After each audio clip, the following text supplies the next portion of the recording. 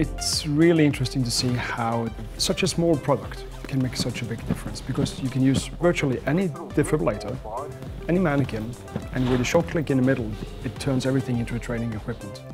So whatever your program is, training program, ShockLink will actually enable you to use your existing equipment in a very easy way, and then you can use it on a daily routine, um, just as you would when you use, use a shock.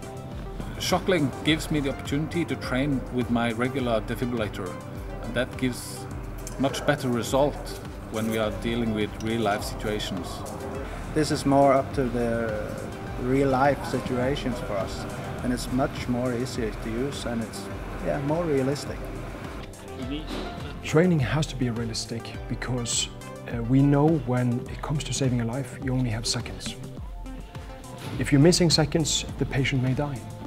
So training as close as possible to the realistic situation is really important.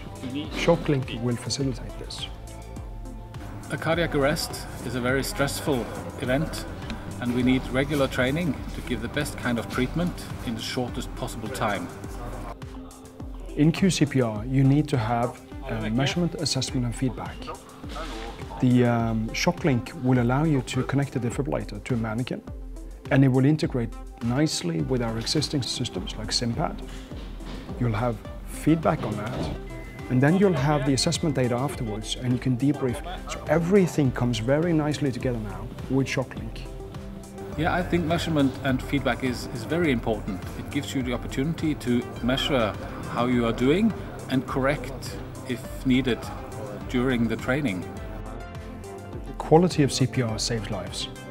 The mission of Laerdal is helping save lives. It's only natural that we would focus on products that would actually help saving lives.